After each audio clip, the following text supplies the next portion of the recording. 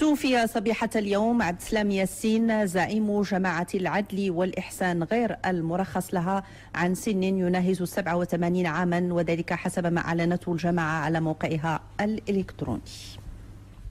توفي صباح اليوم عبد السلام ياسين زعيم جماعة العدل والإحسان الغير مرخص لها عن سن يناهز 87 سنة وذلك حسب ما أعلنته الجماعة على موقعها الإلكتروني.